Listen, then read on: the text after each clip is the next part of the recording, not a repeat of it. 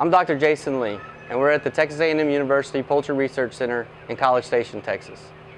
In this particular experiment, we're evaluating the use of dietary enzymes in broiler meat production to evaluate the body weight gain and feed conversion ratio of market broilers.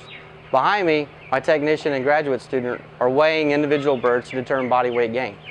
We, we will actually weigh the amount of feed in each, in each feeder and at the end of the growth cycle, weigh the birds and determine a feed efficiency ratio.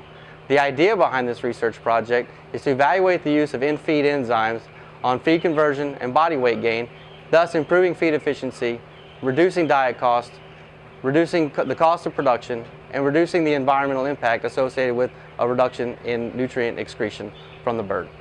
In order to uh, determine digestibility, we put a tracer in the feed, um, which is in all these samples. Um, these are the feed samples right here, and uh, this sample right here is the uh, the fecal material without the enzyme. As you can see, the concentration of uh, the tracer is uh, increased in this sample. Here is the uh, uh, sample of the fe fecal material with the enzyme included in it. As you can see, the tracer is even more concentrated as the inclusion with, without the enzyme in those samples. And that means uh, there's more digestibility.